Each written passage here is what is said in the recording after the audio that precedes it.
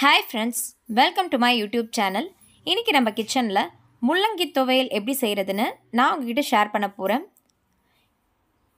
Idli dosa white ரைஸுக்கெல்லாம் நல்ல ஒரு காம்பினேஷனாக இருக்கும். நான் சொல்கிற இந்த ப்ரொசீஜரில் நீங்கள் கண்டிப்பாக ட்ரை பண்ணி பார்க்கணும். அந்த முள்ளங்கியோட எந்த ஒரு வாசனையும் நமக்கு தெரியல. டேஸ்ட் அவ்வளோ அருமையாக கிடைச்சது. இந்த துவையல் செய்கிறதுக்கு நாலு மீடியம் சைஸ் முள்ளங்கியை மேலே தோல்லாம் நல்லா சீவிட்டு வாஷ் பண்ணிவிட்டு இந்த மாதிரி சின்ன சின்ன பீசஸாக கட் பண்ணி எடுத்து வச்சுருக்கேன். ரவுண்டாக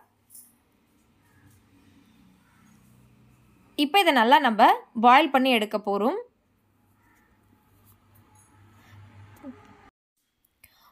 முள்ளங்கி வேகிற அளவுக்கு தண்ணீர் ஆஃப் டீஸ்பூன் மஞ்சள் தூள் சேர்த்து இந்த மாதிரி ஒரு பேனில் ஆட் பண்ணியிருக்கேன். வேக வச்சு நம்ம தண்ணியெலாம் ஃபில்ட்ரு பண்ண தேவையில்லை. முள்ளங்கிக்கு தேவையான அளவு தண்ணீர் சேர்த்து நல்லா வேக வச்சு நம்ம எடுத்துக்க போகிறோம் முள்ளங்கி நல்லா குக்கானால் தான் நமக்கு அதனுடைய பச்சை வாசனை போகும். முள்ளங்கி நல்லா குக் ஆயிடுச்சு இப்போ தனியாக இந்த மாதிரி ஒரு பிளேட்டில் எடுத்து வச்சுருக்கேன். கடாயில் இப்போ two table spoon oil add பண்ணுறேன்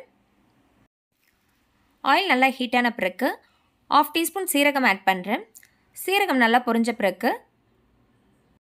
ஒன் டீஸ்பூன் உளுத்தம் பருப்பு ஒன் டீஸ்பூன் கடலை பருப்பு ஆட் பண்ணுறேன் ரெண்டும் நல்லா வறுபடணும்.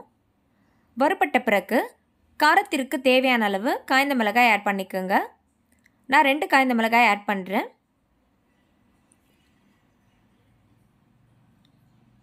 ஐந்து பல் பூண்டை உரித்து நல்லா வாஷ் பண்ணிவிட்டு ஆட் பண்ணுறேன் பூண்டு அதிகமாக சேர்க்க வேணாம். கொஞ்சமாக சேர்த்தா போதும்.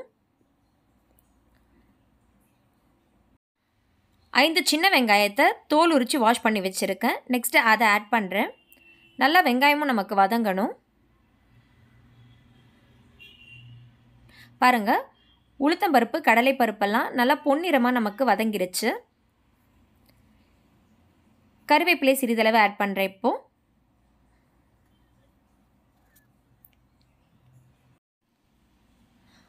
அரை கையளவு கொத்தமல்லி ஆட் பண்ணுறேன் நல்லா வாஷ் பண்ணிவிட்டு பொடியாக கட் பண்ணி வச்சுருக்கேன்.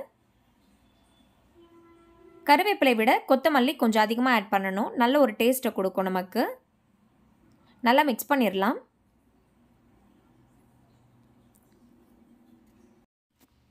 வேக வச்ச முள்ளங்கியை ஆட் பண்ணுறேன் ஆட் பண்ணிவிட்டு நல்லா மிக்ஸ் பண்ணிடலாம் தேவையான அளவு கல்லுப்பு ஆட் பண்ணிக்கிறேன். ஆட் பண்ணிவிட்டு நல்லா மிக்ஸ் பண்ணிடணும் தண்ணியெலாம் இல்லாத மாதிரி நல்லா நம்ம ஃபுல்லாக வதக்கி எடுத்துடணும் தண்ணியெலாம் நல்லா சுருண்டிருச்சு. இப்போ கேஸ் நம்ம டேர்ன் ஆஃப் பண்ணிடலாம்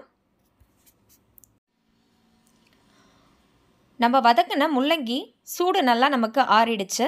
இப்போ நம்ம தேங்காய் கூட சேர்த்து அதை குறகுறப்பாக அரைச்சி எடுத்துக்க போகிறோம் தேங்காய் இந்த அளவு நல்லா வாஷ் பண்ணிவிட்டு சின்ன சின்ன பீசஸாக கட் பண்ணி எடுத்து வச்சுருக்கேன் மிக்சி ஜாரில் ஆல்ரெடி வதக்கின முள்ளங்கி நான் சேர்த்து வச்சுருக்கேன் இப்போ இந்த தேங்காய் பீசஸ் ஆட் பண்ணிக்கலாம். ஆட் பண்ணிவிட்டு குறகுறப்பாக அரைச்சி எடுத்துக்க போகிறோம் தண்ணிலாம் எதுவும் சேர்க்க வேணாம்.